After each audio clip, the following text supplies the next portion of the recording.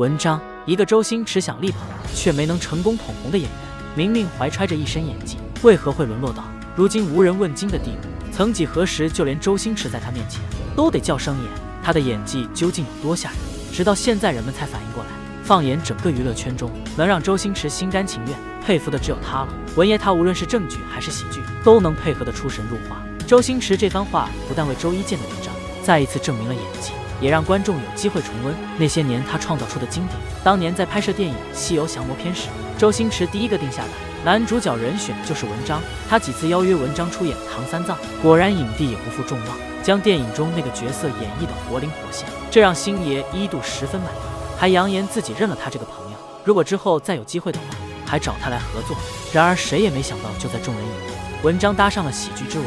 周星驰这层关系后，资源和人脉一定会再上一层楼时，一场浩浩荡荡的周一见事件，让这个曾经被誉为天生就是吃这碗饭的文章，在一夜之间跌落神坛，成了网友口中人人喊打的渣男负心汉。所以这让原本计划喊文章来出演电影《美人鱼》和《西游伏妖篇》的周星驰瞬间愣在了原地，因为在这个人脉利益至上的娱乐圈中，即便他再不懂人情世故。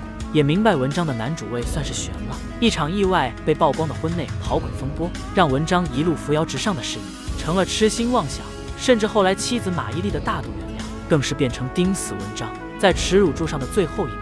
自那之后，没有制片人投递剧本，导演更是退避三舍，独善其身，生怕当初和他交好被无辜牵连。但只有周星驰在文章低谷时拉了他一把，不计前嫌的将欣赏进行到底。周星驰为文章单挑陈嘉上。只为拿到一个小角色的出演机会，但他真的值得吗？当年在周一见事件曝光后，文章一时间成了人人喊打的老鼠，见不得光也不敢出门。然而此时周星驰却在为他搏一个未来。原来，即便婚内跑鬼的事情被曝光，但只看演技不看人品的周星驰，还是希望能够由文章来出演男主角。两部戏的戏份一点不动，只等他调整好状态，满血归来。但是为此，监制陈嘉上却坚决反对。在他看来，如果让一个劣迹艺人，毫无顾忌地出演自己的作品，没有人能够保证电影的票房。即便你是喜剧之王周星驰也不行。再加上星爷和对方签订的协议中明确规定了主演的人选，自然不能够随心所欲的更换剔出。但与文章的约定还历历在目，这让周星驰一度头痛不已，难以释怀。最终只能选一个两全其美的办法：男主角不更换的同时，文章也能出演一个角色。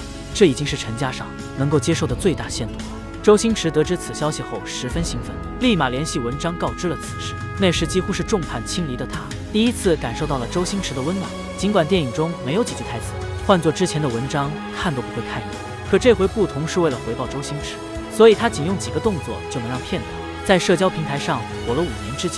事实再一次证明，周星驰真的没选错。尽管与文章对戏的是老戏骨黄渤，他也没有一丝怯场和恐。反而用自己的强硬实力碾压一众小鲜肉，难怪星爷会用出神入化如此高的评价来形容一个演员。不但喜剧的幽默和诙谐与生俱来，就连无厘头喜剧的精髓也被他学去了不少。然而让他没想到的是，第一次和周星驰合作就被打击了无数次，成为他演艺生涯上最大的侮辱之一。一个镜头被 NG 了五十三次后，文章再也忍不住了。即便对方是周星驰，他也毫不退让。可为何星爷却笑到停不下来？当年在拍摄电影《西游降魔篇》时，文章还是风光无限的实力派演员。如果不是周星驰力邀他，可能都不会出演。但是这一场戏却成了他难以释怀的滑铁卢。当时他需要抛开形象和脸面，当众在两个五大三粗的男人面前跳一曲艳舞，魅惑众生，光看形容就足以让人难以接受。所以一向出演正剧的文章，也是做足了心理建设才选择开拍。毕竟实力派演员。如果连这个都拿不下的话，又该怎样在电影圈占据一席之地呢？起初，文章对自己的舞蹈十分自信，全然抱着一遍过的准备来打算的。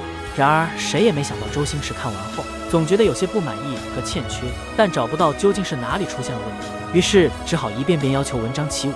一次、两次、三次、四次，文章忍了，对方可是周星驰，但一直到五十多次都没能让星爷满意。这回天王老子也压不住文章的暴脾气了。险些当众在片场开喷，最后一丝理智告诉他千万要忍住。好在大脑回归的他压下怒气，心平气和的向周星驰讨问 NG 原因。星爷表示，如果光让观众笑，那不足以成为经典，只有喜剧才是经典的关键。其中的深意，当下文章并未想明白，但他虚心接受了星爷的说法，专程暂停拍摄找老师学习。后来，当一个月后文章再出现时，那段经典的舞蹈也应运而生，甚至成为观众和影迷。难以忘怀的经典桥段之一。当然，其中也不乏喜剧之王周星驰的指导和示范。据说在文章找不到精髓所在时，星爷也会在一旁提供帮助，甚至有时还会亲自下场示范一番。不得不承认，每一位演员成功的背后，都不乏辛勤的努力和付出。而星爷真不愧为各中翘楚。对此，看官们认为呢？